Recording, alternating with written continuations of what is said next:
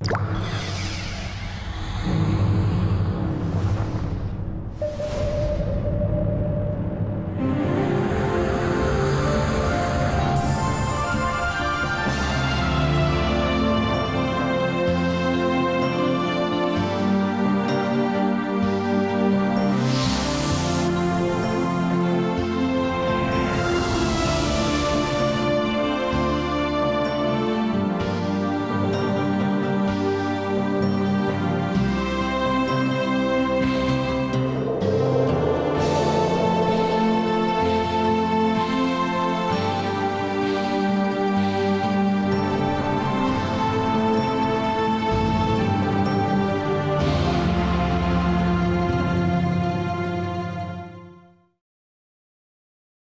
尊敬的诸位长辈啊，诸位学长，大家下午好。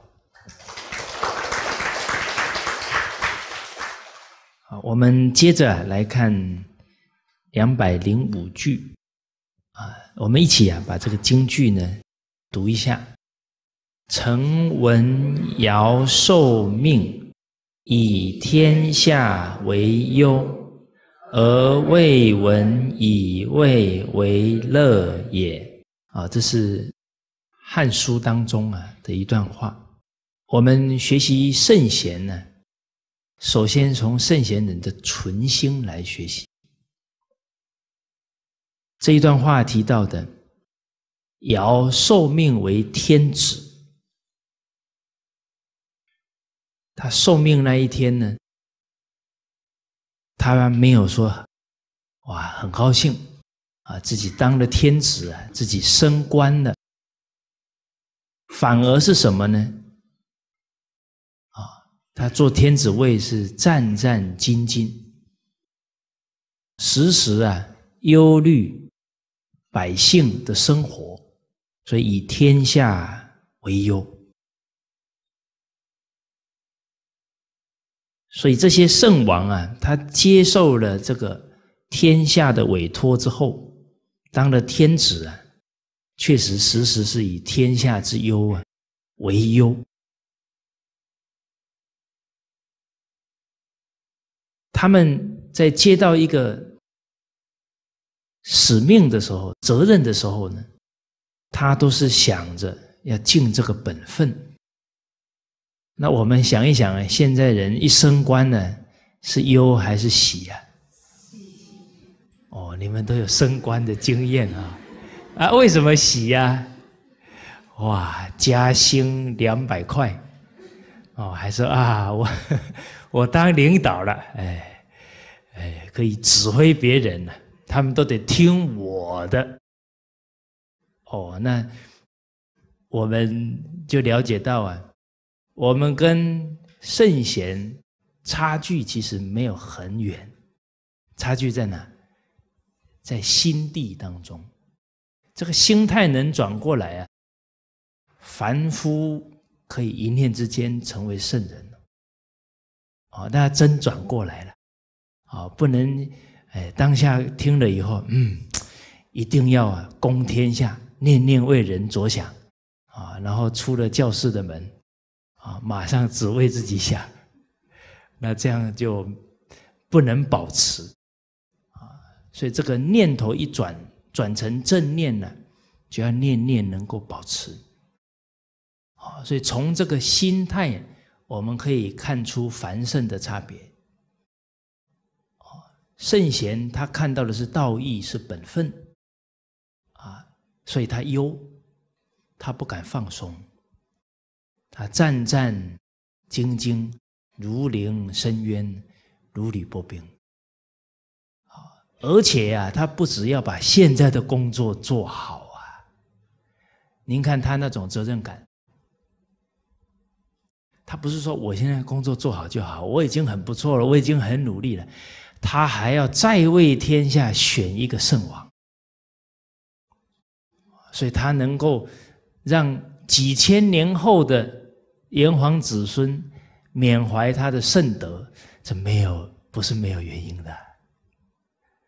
花了多少时间找到圣王？二十八年呢。啊，为天下找到了舜王，他才安心啊，卸下了这个天子位啊。哦，那孟子啊，是这些圣王的知己。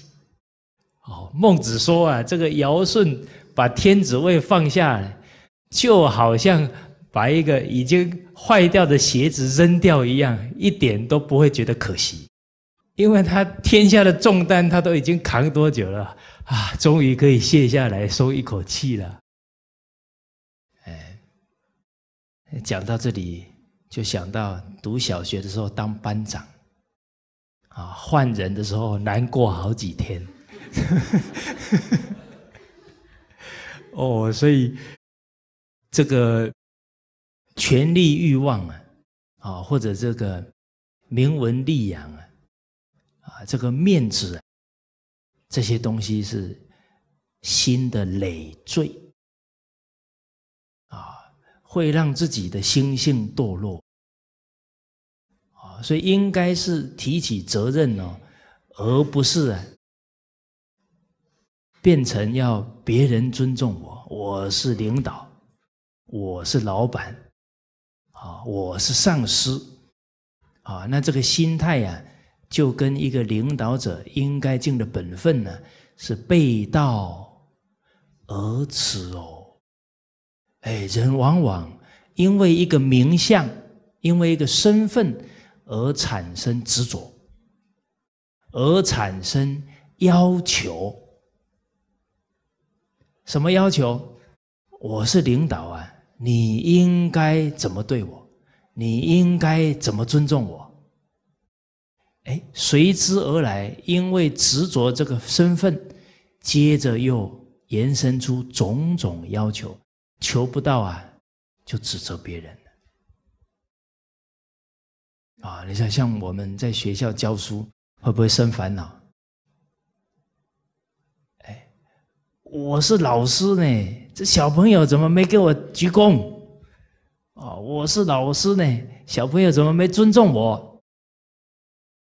所以人很多痛苦啊，都是没明白本分，反而先生出很多的要求，所以产生这些痛苦。哎啊，坦白讲，这老师是个因缘呢，主管是个因缘呢，是个名相而已啊。哎，这个因缘，首先我们要了解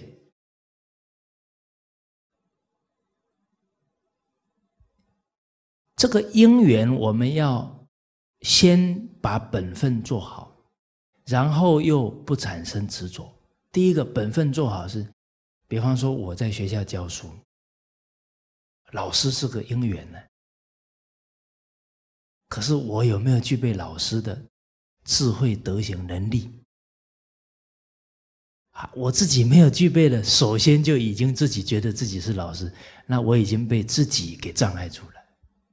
这个认知错误。哪有说我去师范学院读几年的理论呢？那我就可以做好的老师了。哦，所以其实每一个名相都有可能让人产生执着，啊，而后产生要求。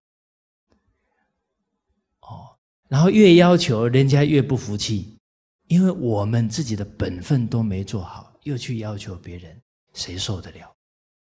啊，比方说男女结婚，终于嫁给我了，今天开始你是我太太，我是你丈夫了，有没有？你看住在这个丈夫了，接着要求就来了。哦，所以人要不执着啊，时时只想到本分，不执着在这个因缘、这个名相。而去要求别人，这个真不容易。哎，你说像我们在学校教书，一个教育者，首先要能自我教育呢。我们自己都不能自己教育自己的，怎么去教别人？可是我们住在一个老师的名下，变成都在教别人，没有教自己了。哦，那这个“老师”两个字，就让我们落入了一个严重的习气。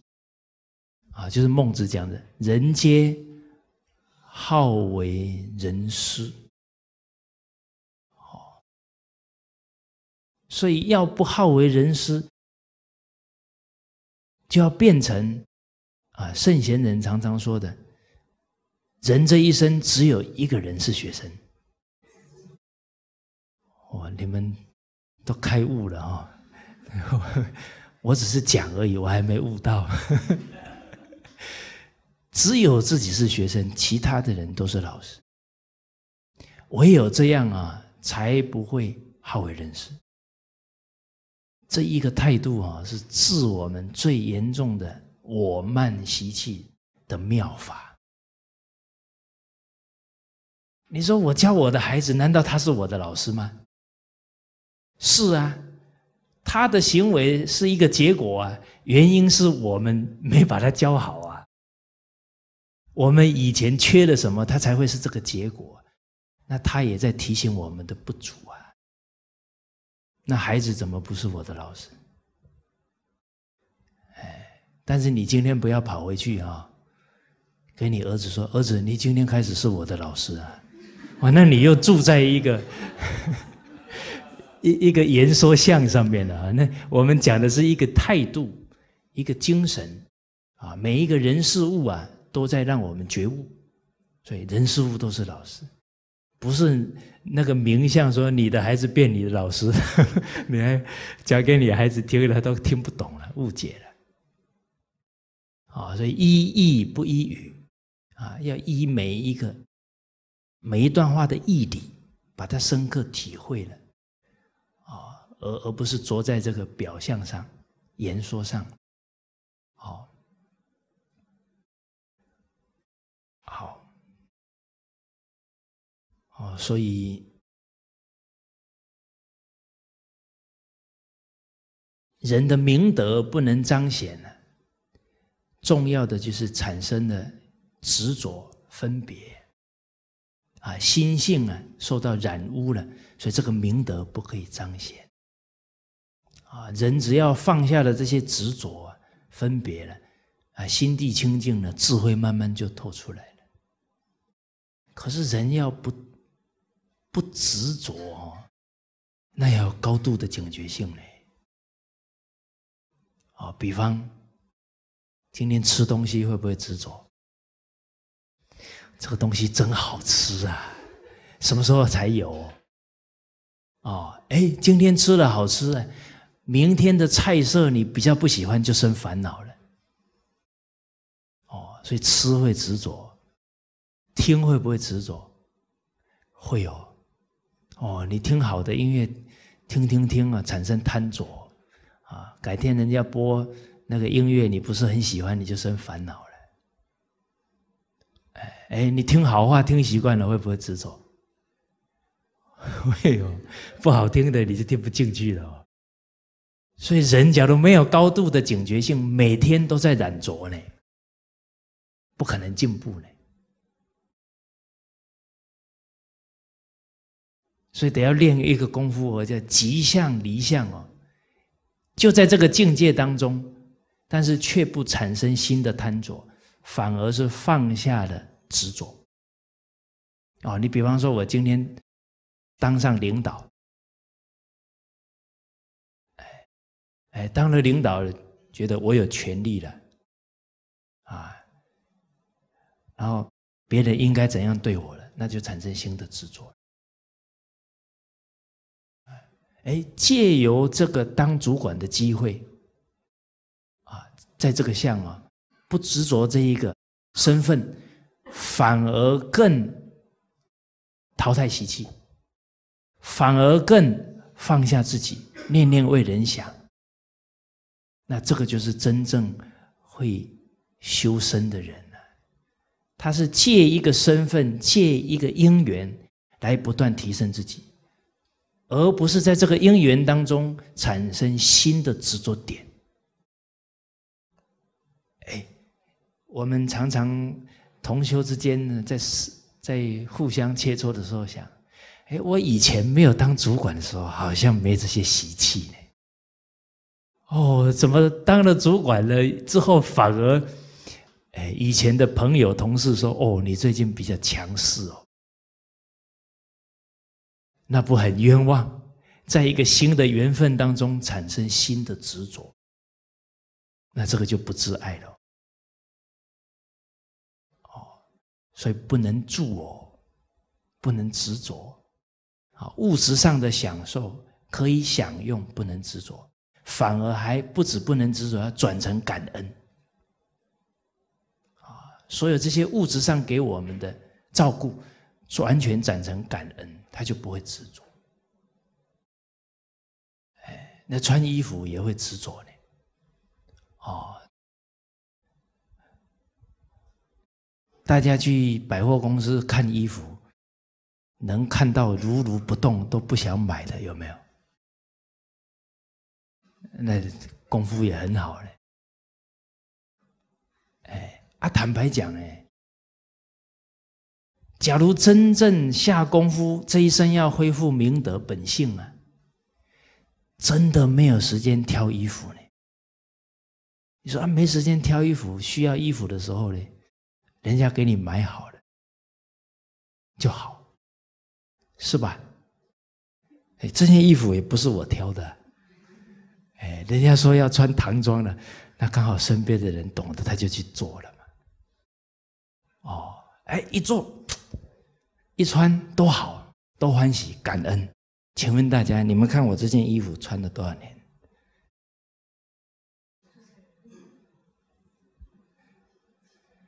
啊？我假如没记错啊，应该是零四年底、零五年初了。哎，也有八九年了呢，是吧？还很新呢，是不是？也不会退流行啊。对我，我就是带着他去闯江湖，哦，不是。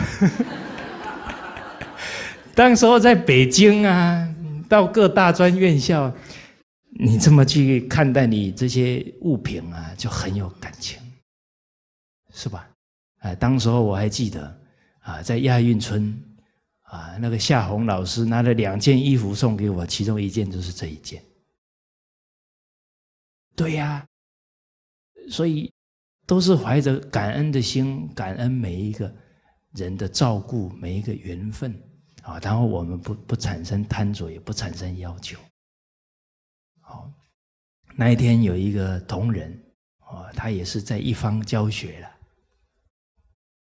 啊，我也是跟他在交流。我说，人随时都会产生执着啊，你要有高度的警觉性啊。哦，我说，像我们在从事教学，人家叫我们老师、老师、老师，会不会昏了头？哎，真的觉得自己是老师的，那已经错估自己的德行跟能力了。我们当老师是因缘，赶鸭子上架。我到海口去，我怎么知道我要讲课了？我我爸爸还交到交代说，先跟着杨老师后面三年再说。人算不如天算，一天也没躲到，然后就开始要要要分享了。但是哦，人的烦恼就是因为不单纯，想太多，单纯哦。就没那么多烦恼啊！什么叫单纯？师师长又没有教讲课要紧张，有没有？没有吧？对嘛？所以我们所有的烦恼就是不听话，尽是自己的一些想法跟惯性。师长只说李炳南老师教我们自诚感通。是不是？对呀，哦，所以我九年半前不会紧张，为什么？师傅教的嘛，自诚感通啊。反正你要上台前就祖宗圣贤好好请他们保佑就好啦。所以我那时候都砰就上来了，轻松愉快，好，这跟大家好像在开同学会一样这样谈。可是九年半以后，讲课越来越紧张。所以你看人哦，一不小心那个得失心不知不觉越来越严重，反而不如以前的心态、心性的清净了哦。啊，所以人走在修身的路上啊，最怕的就是不知不觉被自己给卖了。哦，自己在堕落的自己不知道。啊，所以我刚好跟这个同仁在分享。啊，人一不小心啊，真的随时都会瘫坐。啊，尤其你讲学的人呢，很可能在一方啊都被人家照顾的很好。哦，人家都给你好吃的、好穿的，还开好车，啊，生活还给你打理的很好。人在顺境当中啊，不好修身，因为他在享福啊，想着想着就是应该的啊。所以在座的男士啊，你娶到一个好老婆啊，也很有可能是你堕落的开始。有没有道理？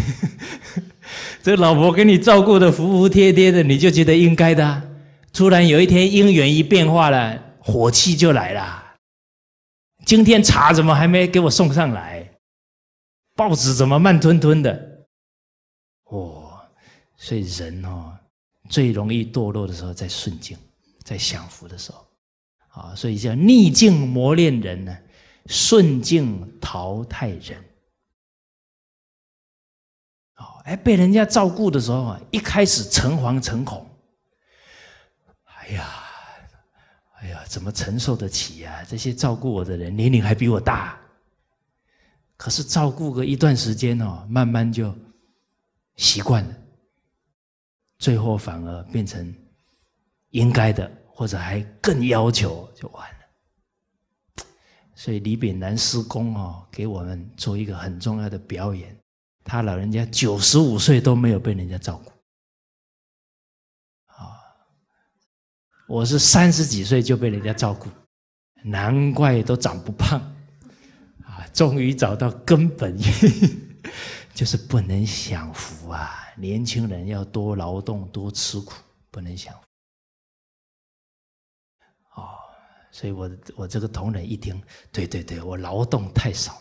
啊，我从今天开始要多劳动啊！结果前几天啊，他的同仁呢跟我通电话的时候说：“哎，最近他特别勤劳，都主动来帮忙。”我说：“哦，不简单啊！”跟他一交流完，他马上就转了，马上就做了。哦，这个是很可贵的啊！结果我跟他通电话的时候啊。我说我们不不能住在老师两个字，因为我们根本呢，连圣贤的好学生都做不了，哪还有资格当老师？这个是客观情况。哦，所以要多能够啊，听别人给我们的提醒跟劝谏。哦，尤其身边的人，看我们看得最清楚，他提我们的意见，我们一定要听。结果我讲到这里呢，他太太 马上在电话那一头说：“他都不听我的话。”哎，啊，我我讲到这里，他太太补了那句话，结果他马上说：“我哪有？我哪有？”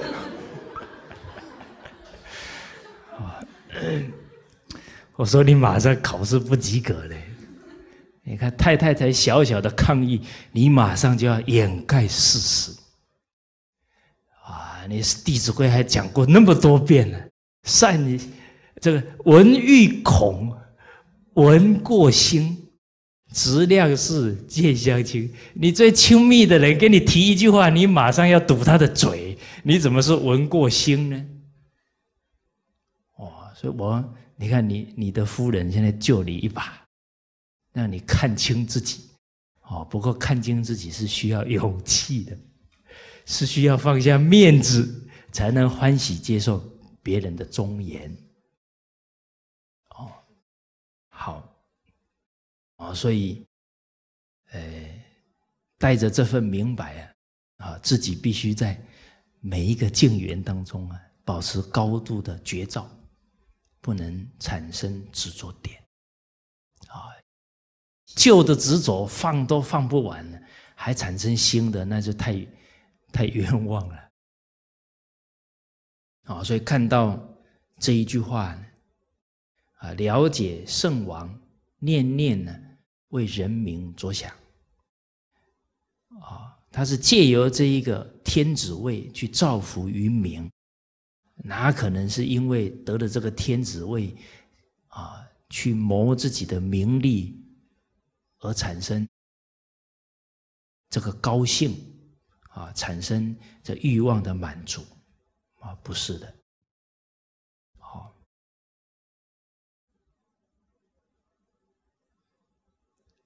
啊，所以我们看范公啊，他当官啊，在先天下之忧而忧，甚至于啊，有一天觉得今天没有尽到本分，愧对国家的信任跟俸禄。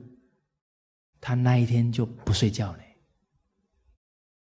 哦，一定啊，赶紧早起床，然后呢，隔天进再更奉献、更付出，然后心里觉得很安，说啊，这样才没有愧对国家、愧对啊老百姓的俸禄，啊，他才心安。好，好。那自身要有绝招，哦，不能产生权力欲望，不能利用一个机会啊去追名逐利，啊，所以我们走在弘扬圣状圣教的路上啊，啊，老人家那十六个字啊，念念不能忘记关照，不能自私自利，啊，不能有一个自私的念头产生。不能呢，明文利养哦，不能啊，五欲六尘都不能贪着，啊，不能贪嗔嗔慢啊，这些习气要时时关照，把它放下来。那除了自身这个关照啊。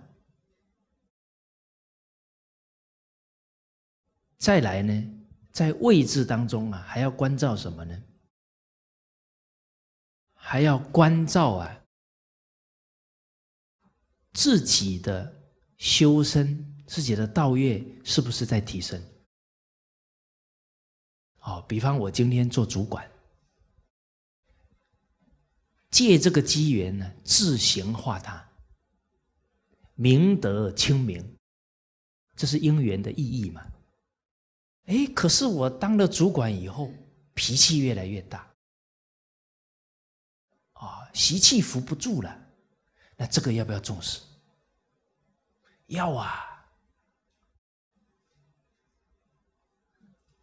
假如因为当了领导，习气扶不住，第一个自己堕落了；第二个，只要我们习气现前，当主管也不可能当得好。所以这个时候不能自欺哦，甚至要主动啊退下来，这是自爱又爱人。哎，而坦白讲啊，我们这个弘扬文化的团体啊，跟世间一不一样？世间很努力啊，他要赚钱呐，是吧？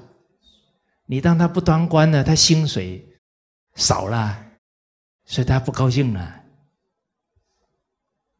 那我们走在弘扬文化的队伍里，我们是要自行化他，可是怎么化他？自行自我提升才是化他的本钱呐。自己在现在的因缘跟工作，自己的德行、智慧都不能提升了，还能够帮助谁？哦，哎，所以假如领导要调整我们，说你现在先不要当官，先下来好好参与一些课程，高兴都来不及了，是不是？哎。疼爱你，让你能静下来，好好再沉淀沉淀，接着再出发，好不好？好哦，我多么希望师傅赶紧下一道谕令！你从今天开始不用讲课了啊，什么都不用干了，就每天跟在我旁边听经。哇！哎这是我做梦都会想要、梦寐以求的，是吧？啊，那谁不愿意静下来专注这样听经？可是也不能执着。你说对呀，听静下来听经多好啊！每个人都听经，谁当科长？谁当处长？是不是？那那那个喜欢听经，不又是执着？你看呢？一不小心就执着，会不会？会啊！我过年的时候去师去师长那里听七天的经，不想回来，执着了。哦，所以这个处处都要在心地当中下功夫。一个人首先学什么？服从啊！服从为负责之本呐。一个人连服从都不能做了，他还能负责什么事情？在家里连父母都不服不服从的人，他以后能扛什么责任？在团体当中不服从领导，他不做坏的榜样就很好了，他还能扛责任？啊！大家一听完这句话，马上很难过，那就干吧。啊，不是这个意思啊！啊，服从是能为大局着想。这个也是自宫的态度，但是不代表你要硬撑。法是圆融的，啊，痛苦是自己想来的，它是可以圆融的。你扛起责任呢，可是真的太重了，你就给上级反映。你说，可是假如我给上级反映？他说：“没办法，啊，我也跟你一样累，我也跟你一样瘦。哦，那这样就不对了。哎，有圣教就有办法，绝对不会没办法。啊，遇到问题，想师师长老人家怎么教的，问题就解决了。啊，师长说多少能力就多做多少事情。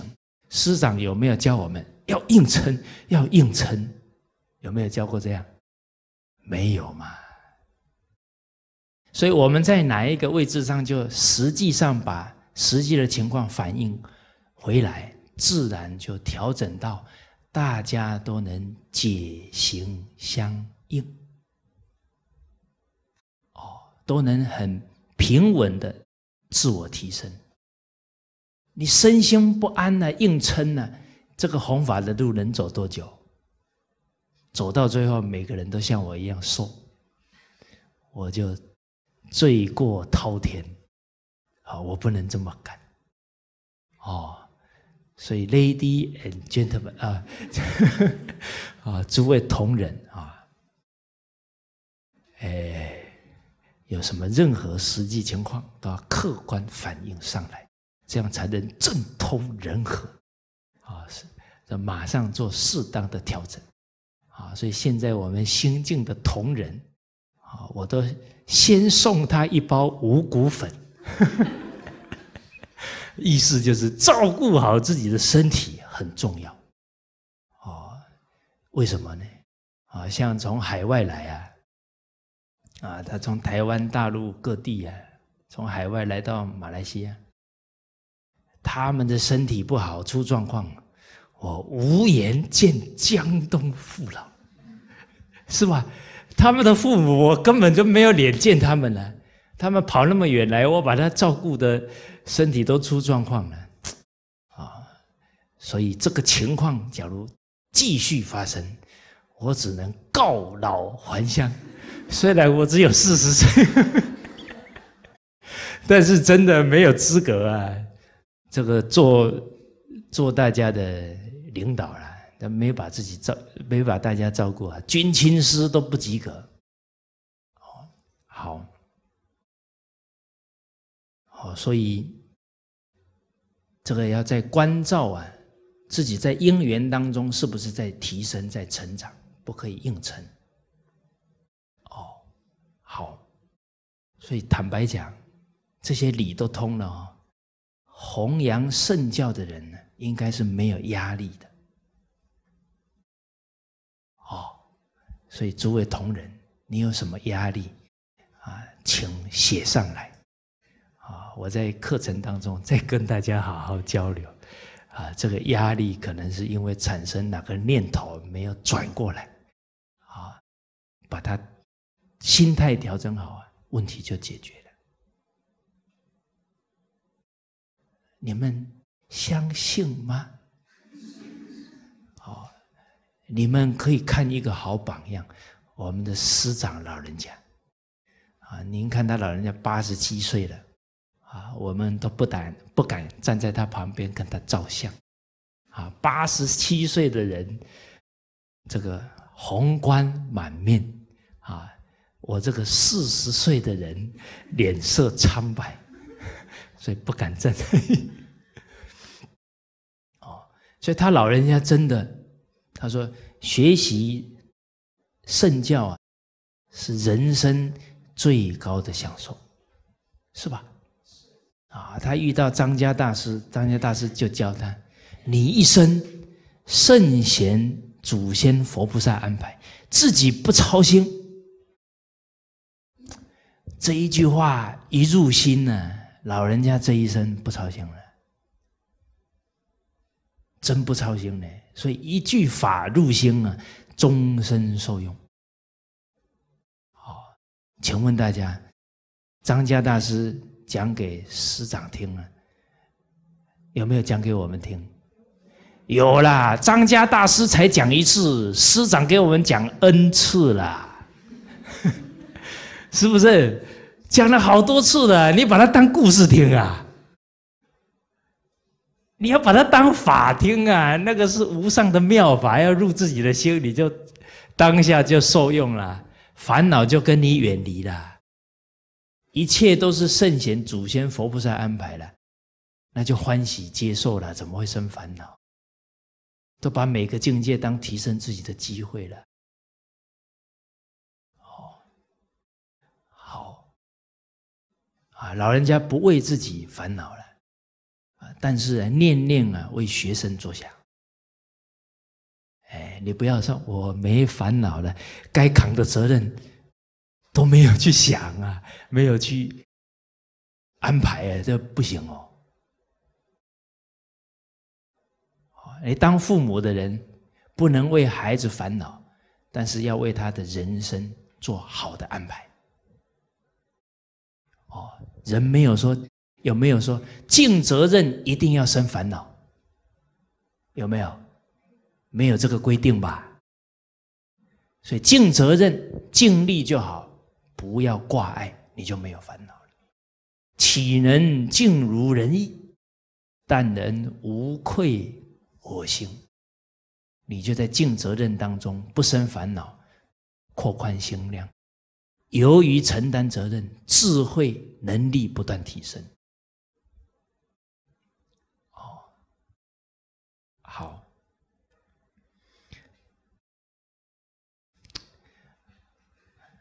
这个是在心地上的关照啊，在因缘上的关照，而且啊，我们这个。人的修学路上啊，有一句俗话讲啊：“当局者迷，旁观者清。所以这个善相劝呢，很重要。啊，你比方一个当父亲的人，他要把女儿嫁出去，啊，他抓到那个机会点哦，护念他的女儿结婚的心态很关键哦。那个机会点他抓对了哦，利益他女儿一生哦。他的父亲没有这么提醒啊，这个女儿嫁过去哦。又看了太多电视剧啊，什么《流星花园》哦，啊，现在那些电视剧好像什么男人都要侍奉女人呢，有没有？哦，你们很乖，都没有看这些电视，我也没看。我为什么知道？我去从事调查工作，啊，因为最近遇到几两位这个八零年后的年轻人。啊，他们说还没遇到圣教以前，他们都是看这些电视剧，啊，什么野蛮女友，哦，所以这个这个女孩子，假如从小都看这一些，她就觉得男人都应该这样对待她，那她嫁过去铁定搞得人家鸡犬不宁，这个不没有侥幸的了。所以告诉大家，现在要让天下安定，最重要的是什么教育？女子的教育。啊，天下太平这根本就是把女人教好了，天下就太平。哦，所以诸位女同胞，啊，你们一定要发愿弘扬一部书，叫《天下太平之根本》。啊，这印光大师啊。很多女教的教诲，包含胎教啊，教育孩子，收录在这一本经典里面。这本书太好了，你们要发心去弘扬。哎，因为像我们男人去讲这一部书啊，怕被人家攻击。啊，他一听你怎么都要求我们女人，你都不要求男人，哦，那我就不大好讲话了。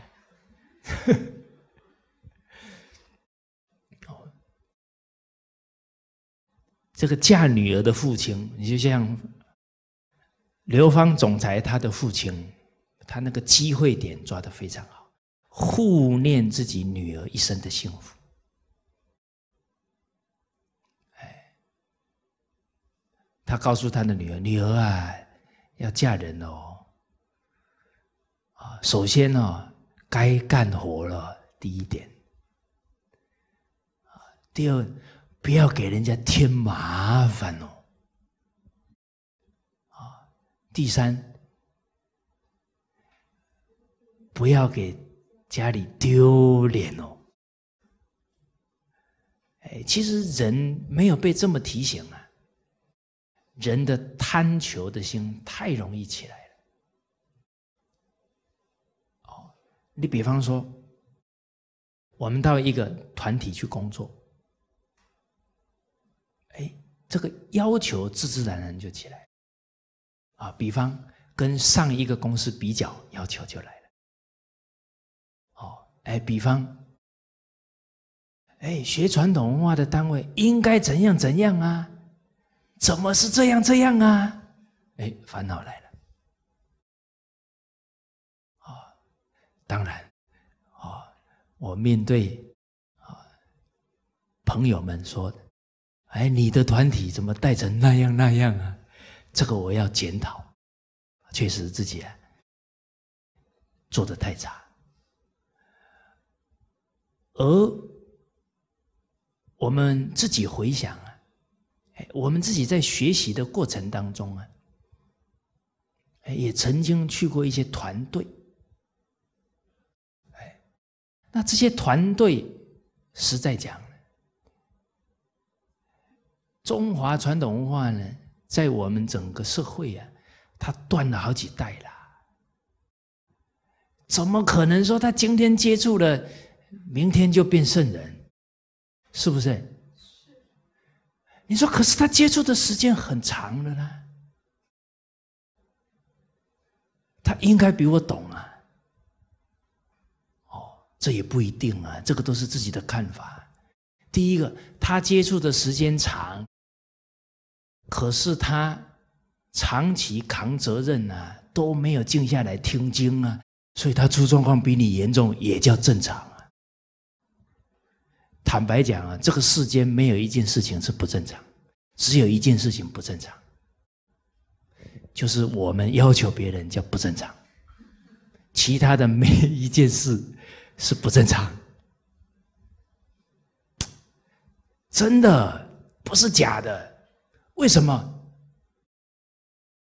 每一个事情必有缘故嘛，那必然有原因，它才有这个结果，那怎么会不正常？哦，所以一个修学圣教的人要深信因果，他这样的结果一定有原因，不要在他的结果当中产生嗔恨、产生指责，何苦把自己也给卖掉了？所以不能着相，要在每一个结果当中看原因，你的怜悯心就来了。啊，虽然他学的时间比我长，但是他落入了一个陷阱，就他把学的道理去要求别人，拔不出来啊！虚掷光阴，他好可怜，被我遇上了，见义勇为，我把他拉起来。你不止不会生气，你还把他拉起来。你说他连我要拉他，他连手都不给我。有没有可能？哇，那新的烦恼又来了。对啊，我照你说的，我把手伸出去了，他不给我接呢。你说多难受？啊，又着一个相了。着什么相？他手不给我接呀。啊，手不给你接是结果，原因是什么？所以你看，人只要不绝照。处处都可以执着，然后那个执着一产生哦，就闷在心里，难过三个月，难过三年，难过三十年，难过断带到棺材里面去。哎，很多人要断气的时候还在那里，我弟弟不尊重我，他欠我钱还没还，真的。啊本来无一物，何处惹尘埃呀？不要跟自己过不去啦，什么都要放下。我已经对他很好，我把手都伸出来，他不给我拉呢，因为他还没信任你嘛，他又不知道你会把他拉到哪里去，所以他很可怜呢。连对一个无私奉献的人，他都怀疑，你看他可不可怜？他的本性啊，已经被这个怀疑心给障碍住了，啊，有神怜悯，不生指责。哎啊，他为什么不信任我？因为我做的还不够好。哎，他的心里面觉得你还救我，我觉得你也是要被救的人，你还救我。五十步还笑我百步，真的，尤其我们最亲近的人呢，你跟他讲圣教，他不相信。其实他心里面一看，你学的也没有比较好，还处处说我。你学了以后只是会讲道理而已，那个本来那个习惯一点都没改。哦，所以必须要把原因找到。啊，为什么我们一心为他好，他反而不能听我们的，不信任我们？因呢，还在我们的德行不能感动他。这个时候啊，稍安勿躁，不要急着要去改变别人，先从自身下功夫。啊，所以《太太上感应篇》教我们正己化人，那个化是自然而然感化的，不是刻意的。啊，不是去控制要求他来的，好，好，啊，所以他的父亲很有智慧啊，提醒刘总出嫁前那个关键的时刻啊，提了这三点。那他把父亲的话听进去了，第一个，他就主动去付出了，他就不会等着人家付出啊，是吧？哦我听那个那些年轻的女孩讲，说那个现在好像什么煮菜也要先生煮，洗碗也要先生煮，照这样继续发展下去呢，缝袜子也要先生缝，是吧？还我还听说衣服，女人的衣服也让先生洗，哇！你去想象一下哈，一个男人每天得洗女人的衣服，你看他还能胸怀天下吗？哎，大家去想一想这个问题呢。啊，当然，他假如许女人的衣服还能胸怀天下，我也很佩服他了。哦，可是你自己去想一想，哎，女人要欣赏男人的。那种胸怀天下、那种阳刚之气，哦，而不是每天只围着女人团团转吧？可是女人现在喜欢哦，每天只想她的女男人，哎啊，夹菜第一口一定是先夹给她的男人啊！诸位女同胞，你是不是喜欢这样的男人？哦，你们都摇头，哎，学过圣教的女人判断力是不一样，哎，哦，所以大家要了解，男人是需要培，男孩是需要培养的，丈夫也是需要培养的，啊，你怎么培养他，那就看你的智慧了，哦。好我讲完这段话，你们不能执着。为什么？这是原理原则。男人，你不要听了以后啊，你太太已经累到腰都直不起来了，啊，然后他叫你帮忙做个家务，你说蔡老师说，男人做这件事怎么胸怀天下呢？我就被你们出卖了。哦，哎，所以我只要跟这些同学们一谈话，只要他们一说你上一次讲什么，我都精神紧绷啊。第一个我有没有讲错？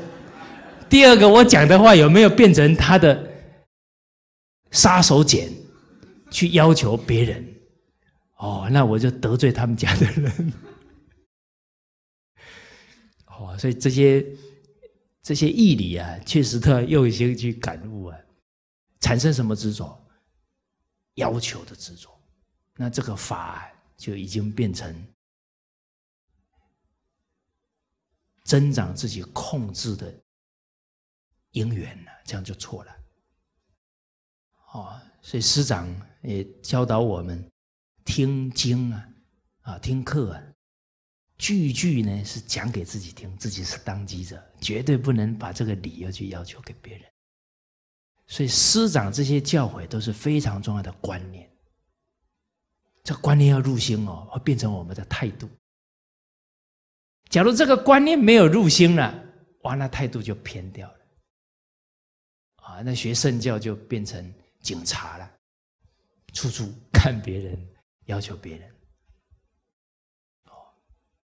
好，而这个事实的提醒啊，很重要，因为长善就是善没长哦，错误的思想观念就进去了。你当父亲的不教女儿，谁教女儿？流星花园教女儿了。再来，他的那些同学啊，跟他的见识都一般的，互相切磋。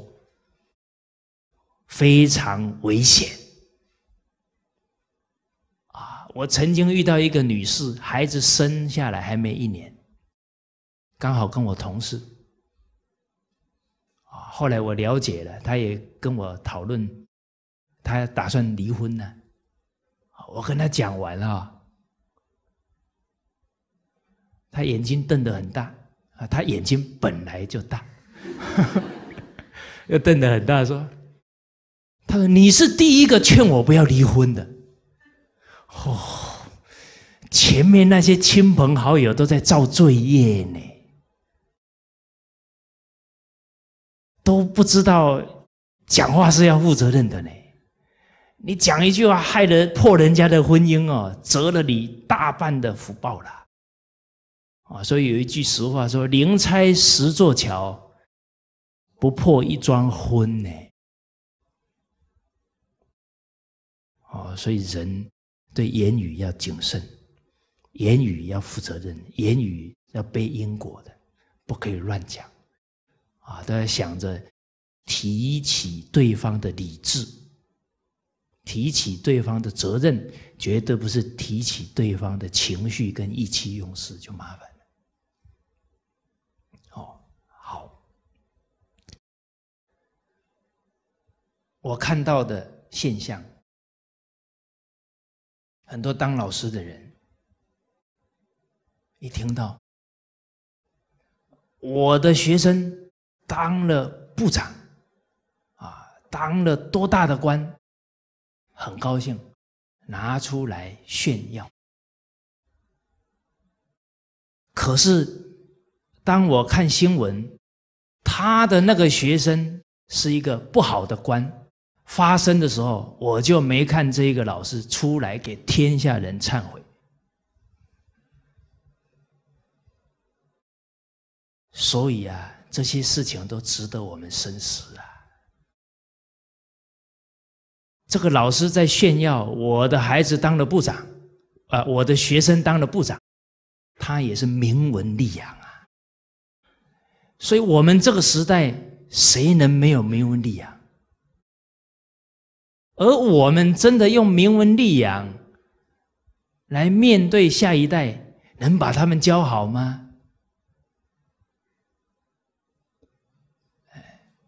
有哪一个老师知道他的学生当了部长，赶紧在他未上任以前给他面授机？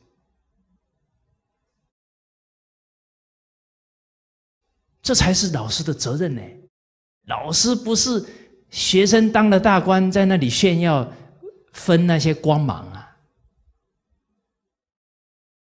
所以不是当事人心态偏了会出问题，当事人的父母、老师、身边的亲朋好友心态偏了，很可能会把他往下拉。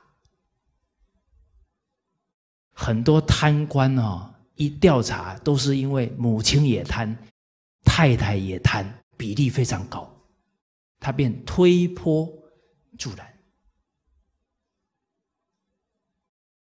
所以，当一个人权位来了，福报来了，可不要高兴啊！自己要冷静，身边的人都要保持冷静啊，不然这一个姻缘就变成一起堕落的姻缘。哦，你看我们。发现那个一个贪官一抓出来，整个亲戚朋友通通一起在贪污啊！啊，有时候一贪都是几千万、上亿，有没有？哦，所以看到这一句也很多感叹呢。人现在都不明这些道理，不明本分的啊！啊，再看看历史啊，哦，就非常佩服啊，赵匡胤的母亲。赵太后，赵匡胤当天子啊，登基那一天呢，哇，百官都在祝贺啊，祝贺他，要祝贺太后啊，看这个太后非常严肃，哦，大家很吃惊啊，儿子当了天子啊，母以子贵啊，这么大喜的日子，怎么太后反而表情严肃？大家都很不能理解，哦，这个赵匡胤也很可贵啊，没有因为登了天子啊冲昏了头。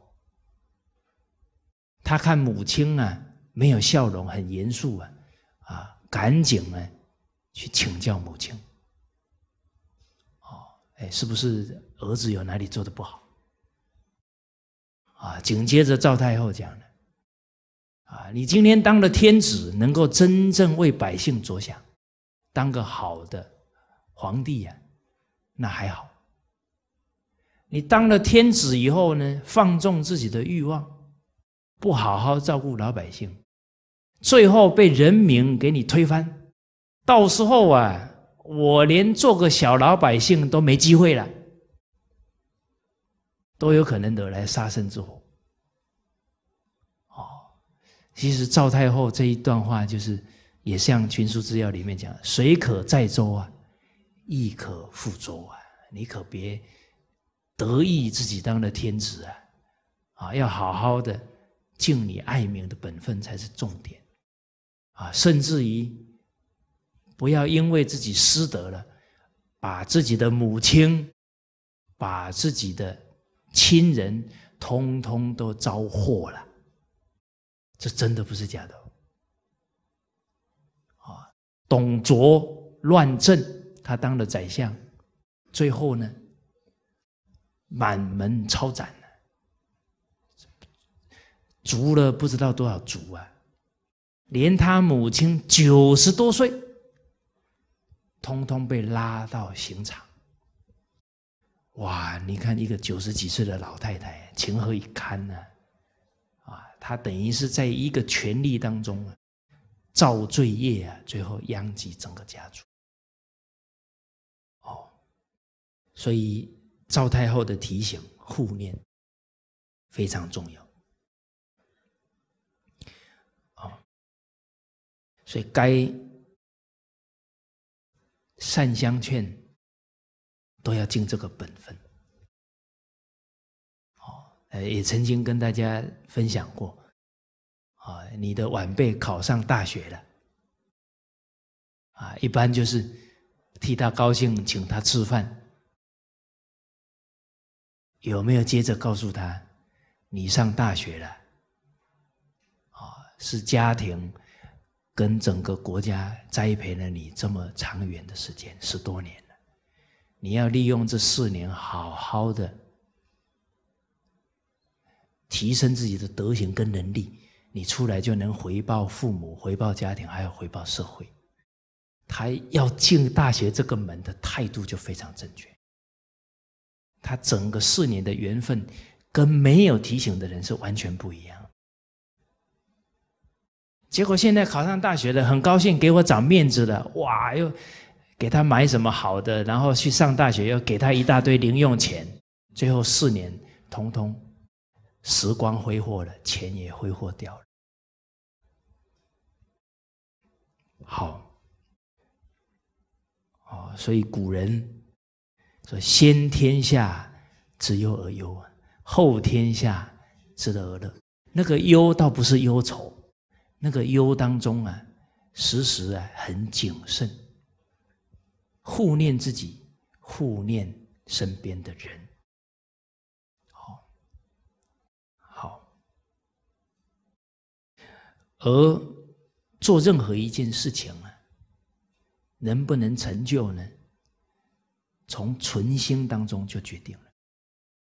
啊，因地不争，果遭迂曲。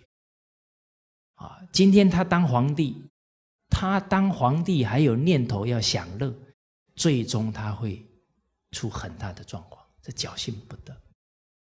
为什么欲他会一直增长嘛？最后就打开来了嘛。所以很多皇帝一开始还不错，但是夹杂的贪欲，最后就不可收拾了。哦，同样的哦。我们走在弘扬圣教的路上啊，不能有一丝一毫的名闻利养跟自私自利，因为它会发酵哦，它会越来越增长，最后啊，可能就忘记初心了。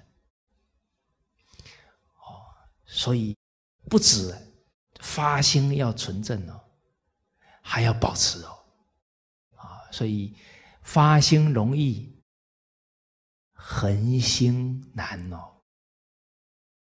要保持哦，不只要保持，还要提升，好，这个才是有志气。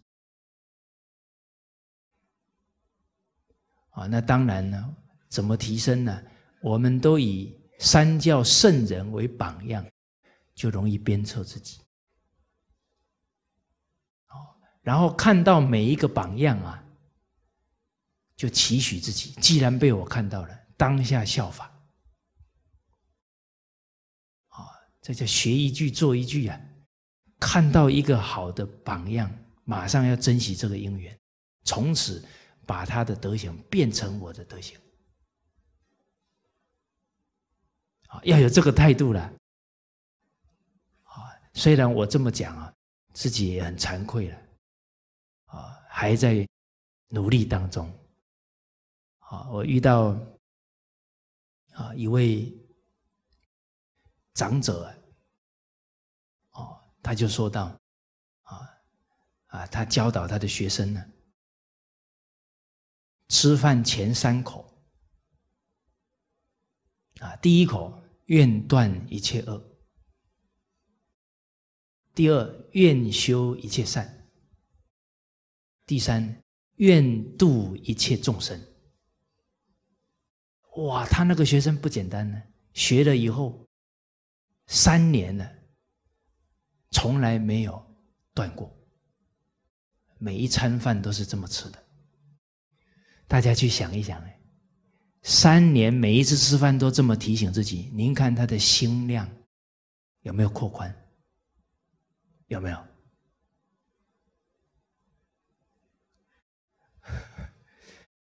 你们都没给我一个 feedback，真的呢？他每天这样提醒自己，哇，那提醒到最后都那个时时都能提起这样的态度。哎，所以静德修业啊，恒心很重要。一个习惯真的养成，每天保持。决定得日进。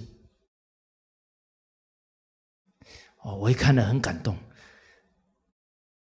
一定要做，从下一餐开始做。结果真的做，都是吃到好几口之后才想起来，然后就赶紧，哎呀，惭愧啊，啊，赶紧再提起来。哦，所以要有这个看到、学到、马上做的态度。啊但是呢，没做到也不要气馁，正常现象，啊，就赶紧啊，再鞭策自己就对了。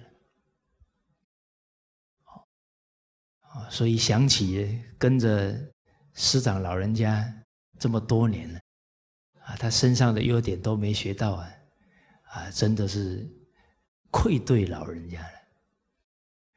哦，所以在今年呢，哦，去年底呀。啊，跟我们同仁呢，啊，我也是这样跟大家互相期许啊。我说我是连学生都不及格啊，所以四有五点呢，来勉励自己。啊，第一呢，珍惜呀，跟着师长老人家学习的这个缘分。啊，我记得老人家第一天到了。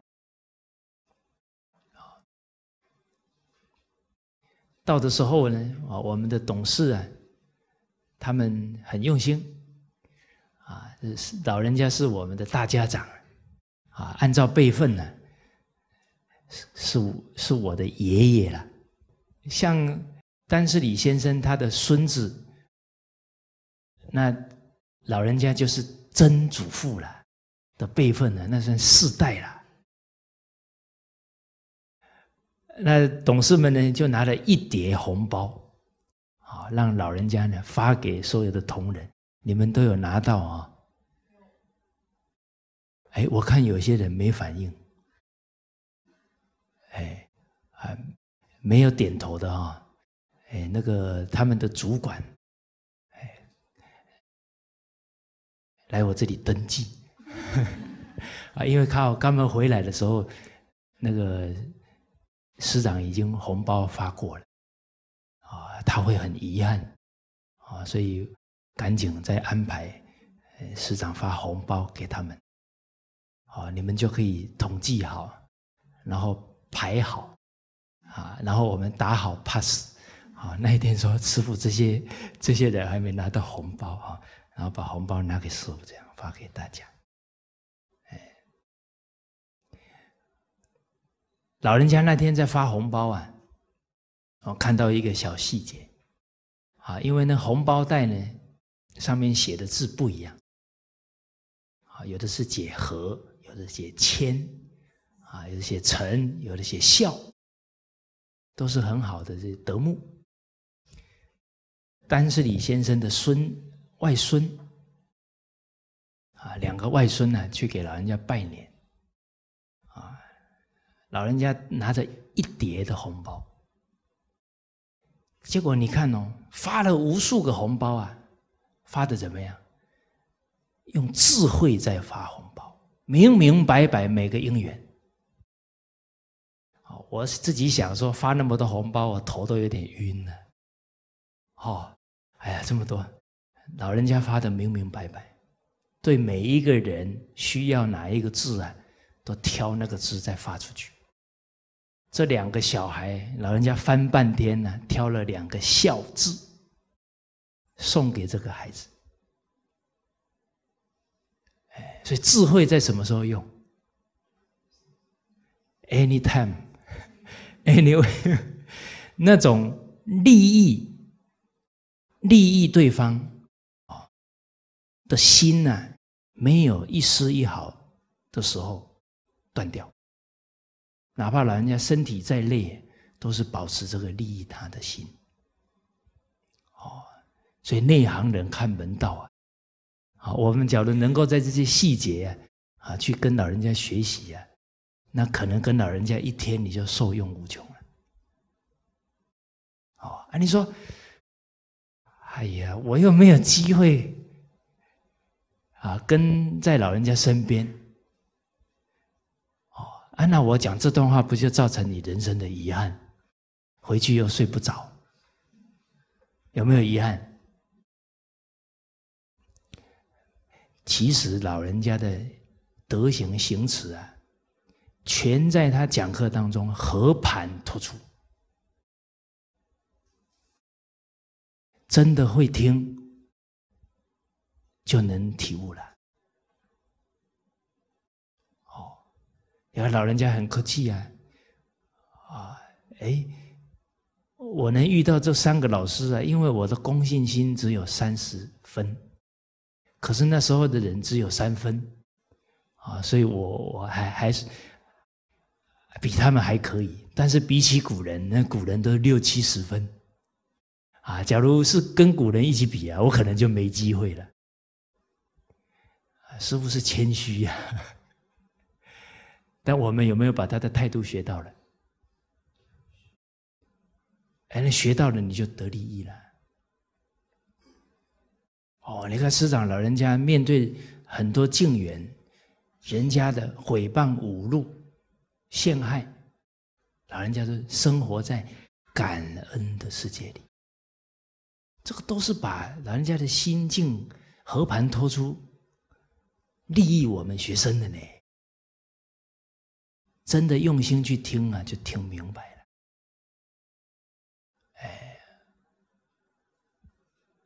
完了，老人家也很含蓄啊，怕我们内心受伤啊，所以讲话都比较柔和。哦，那比方老人家说啊，我大江南北走那么多地方啊，从来没有看过僧团。啊，就是四个人能够见合同解，哦，啊，我们听到这个话，对呀，师长说的没见过嘛，所以很正常，没见过很正常。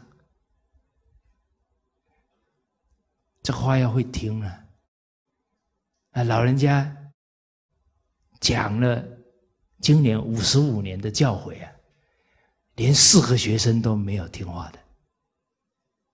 哦，所以其实我感觉这一段话讲完了，我想要挖一个洞，不好意思，躲进去了。对呀，听他老人家教诲的人这么多，怎么没有四个人愿意一教奉行？啊，这是我们要反思啊！所谓知耻近乎勇呢。哦，哎，让一个。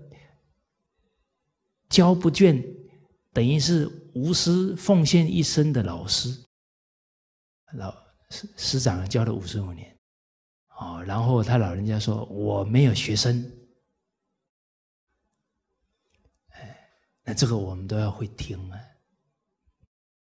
哦，师长是竭尽全力在成就学生，为什么会没有学生？那等于是我们都没有具备一个弟子的态度嘛。哦所以君子务本哦，得要从学生的态度做起。什么是学生的态度呢？老实、听话、真干。什么是老实呢？对师长的教诲不能打折扣，要马上去做。哦，不能学了很多年呢，反而疲了都不做了，就很可惜，就没有珍惜这个缘。那刚好啊，师长那一天在过海关的时候啊，老人家的护照啊是写二月十五号生啊，其实是农历二月十五号了。啊，那那个服务人员呢，我们马来西亚的服务人员很好。啊一看到他的护照，哎，二月十五号啊，就祝他生日快乐，啊，好像还送了个礼物，啊，结果我们这些董事们呢，他们就很用心啊，就真的买个蛋糕，哎，切给老人家吃，哎，我感觉这些长者呢很可贵啊，他们抓住任何一个机缘呢，让老人家欢喜啊，他们都有老来子的这个。存心啊！我看师长吃这个蛋糕啊，啊，吃吃完了挺干净的，拿那个条根刮，哦，把是已经都看不清楚的那个，可能是奶油吧，啊，就一个小小的动作，刮刮刮刮，把它吃干净。哦，那我们不能白看呢，你们有没有看到？有啦，你们怎么摇头？我刚刚叙述那一段的时候，你们没有看到一个影像吗？你们怎么说没看到？分别执着太重。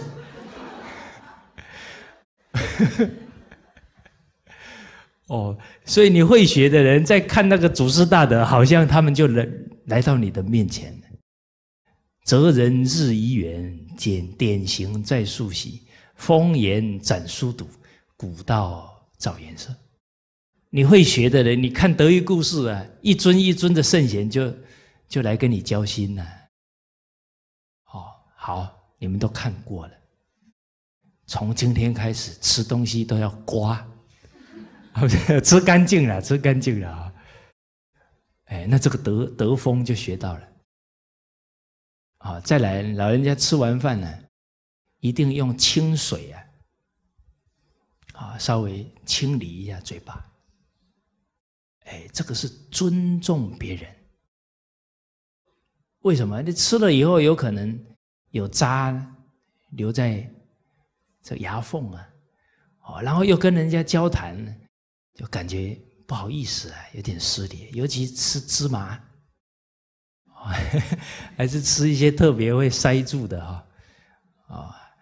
啊，像我们马来西亚吃那个红龙果，哦，哦，火龙果，颜色又红啊，里面那个纸又是黑色的啊，这个就要注意了。像我们讲课的人没有养成这个习惯，突然讲完，呃，吃完饭刚好要上台去，哇，一开口成笑话了。所以你看这些细节都是流露什么？哎，很重礼啊，都怕会啊失礼于人，就都细腻到这些动作上、细节上。好，好，讲到这里啊，把头发摸一摸啊。你比方 没有养成习惯啊，你睡觉一睡醒啊，很匆忙啊，然后就上台去讲课。人家就看到一只公鸡出现了，就这样就对人家失礼，不好意思了。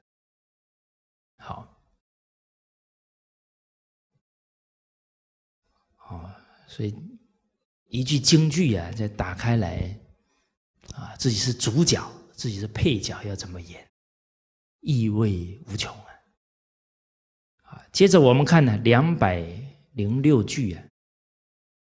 这在《汉书》当中，啊，《汉书治要》里啊，大臣陆贾说的，好，我们一起啊念一下：贾曰：“天下安，注意相；天下为，注意将。将相和，则事欲富；事欲富。”天下虽有变，则全不分。这陆贾呢，说到了天下安定啊，要重视宰相啊。宰相啊，是一人之下，万人之上啊。所有国家重要的决策，都透过他啊去领导，去执行。所以天下安定了，这个治国家要用智慧啊，就要由他呢来带头了。好，我们看历朝历代好的宰相登基呀，天下就安定啊。像宋朝的王旦啊，他做宰相做的最长啊。您看他度量这么大啊，人家批评他，他还说他爱国。啊，所以这个举荐一个好的宰相啊，这个功德无量啊，就像鲍叔牙推荐管仲成为齐桓公的宰相，这个天下就很安定。天下为注意将，天下为乱的时候啊，这个。武将很重要，啊，他必须去安定这些乱局啊，哦，所以我们看到当时候唐朝时候安史之乱几乎让唐朝要灭了，幸好有一位有德的武将啊，郭子仪啊，才能够啊让唐朝的天下继续能够安定下来。哦，不然安史之乱可能唐朝就画上句点，啊，所以从历史当中可以看到这些话呢，都非常有道理。天下为注意将，将相和，则事欲富。文官武将啊，都是将相在带领，那上位的人做出榜样啊，和睦了。那底下的人上行下效，好，好，所以这个士欲富啊，这个士是指读书人啊，指这些贤德之人呢。看到国家这些最高的领导者啊，文官武将最高的领导者。都做出和睦了，哦，那这些读书人跟贤者啊，非常佩服欢喜，进而啊，一起呢为国家来奋斗。哦，我们相信当时候范仲淹做宰相的时候，一定感得很多读书人来为国效力。啊，那振奋整个朝廷啊，所以这个将将相和确实是振奋所有的文官武将啊，甚至于哎有德行的人啊，为义愿意为国服务的人都出来了。这个侍御父啊，这个欲就是非常欢喜，富是归附啊，这非常欢喜的归附来造福于国家人民。那侍御父。天下虽有变，则权不分。这些读书人跟贤者归附了，那他很团结。哦，天下即使有变化，啊，比方这皇帝啊，最高的权位有突然有什么变局产生，啊，因为将相带头。啊，这些文官武将又团结，他就能整稳定整个军心，稳定整个人心，他不会乱。可是将相假如不和，又要谋自己的私利，这个时候啊，最高权位有变动，大家就开始在那里啊，要谋自己的私利，就不是为大局着想啊，那时候就会拥护。啊，哪一个皇上的孩子啊，最后就造成好几个人在争皇位，这个天下就有危险。所以在历史当中，当整个天下最高权位有变动的时候，啊，比方说，啊，当时候唐朝几个大臣，在。武则天要退位的时候，其实不是武则天退位的，是这些大臣观这个形势啊，主动去劝请他退位的。但是这些大臣他稳得住啊，他就去促成了让武后退位。哦，那最后再把皇那个李家的啊这个。指示啊，再让他归到唐朝的这个皇位上，不然已经变成周了呢，变一代女皇武则天的周朝了呢。哦，所以你看，假如这时候将相不和，会不会出现动乱？哎，那时候又出现动乱以后，又变成军阀割据啊，人民又。要接受多少的苦难哦，哦，所以这个权力啊不会分散。好，那一个团体呀，不可能都是一帆风顺，都会遇到一些起起伏伏。哦，尤其呀，这个时代呢，弘扬圣教啊，不容易。啊，为什么不容易呢？因为人享福太多，福报不足，福报少啊，要做事啊就不容易。哎，有福报的人做很多事很顺呢，没有福报的人做什么事都不顺利。哎，这个我很有经验呢。啊，我自己没有福报，出去工作都不顺呢。最后终于找到好老板，哎，那老板有福啊，就好做一些。哎，我的老板你们都认识，哎，尧舜禹汤文武周公，你老祖宗是老板。哦，那因为呢，我们这。几代人呢，太享福，所以福报啊花的太凶。再来呢，因为我们这几代人呢，缺乏伦理道德教育，我们都是成年才学，大部分呢，根基又不牢，所以在人事境缘当中啊，很难不习气现前，这个时候要要能理智，要能凝聚大家，团结大家都不是容易事的。哦，所以这个时候呢，我们属于团体当中的顶梁柱。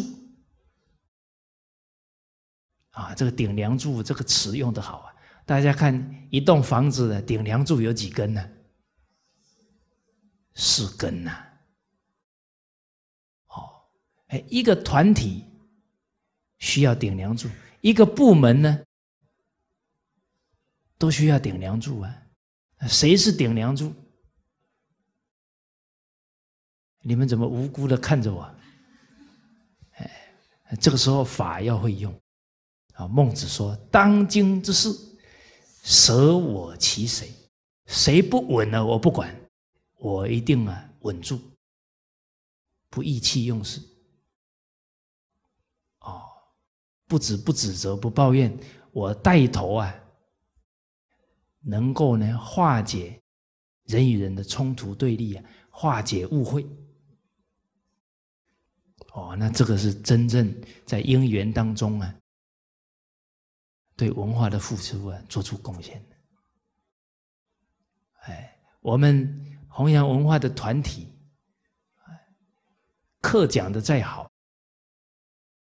假如自己的团体呀做不好、带不好，然后给人家看笑话了，啊，而且带不好啊，迟早要出问题。跟治病一样嘛，哪有说有病了然后自己好了？那得要治啊！哦，那越早治当然越快好啊，拖拖拖都不去正视问题，当然就越来越不好了。哦，哦，所以。话又说回来，啊，我们今天跟大家也谈到，不能执着，不能要求，啊，面后面对任何一个缘，啊，别人对不对啊，不是最重要的事情，首先我们自己一定要做对，要理智，要依照经典来奉行，哦，我们是有志气的人，啊，为。文化弘扬添砖加瓦，啊，不为，绝对不愿意啊，为弘扬文化添麻烦，哦，这样就对了。好，那我相信啊，我们这一份存心啊，必蒙古圣先贤呢祖宗的庇应护佑，哦，必能呢。让自己的智慧德能啊，在因缘当中不断提升起来。好，那今天呢，就跟大家交流到这里。好，谢谢大家。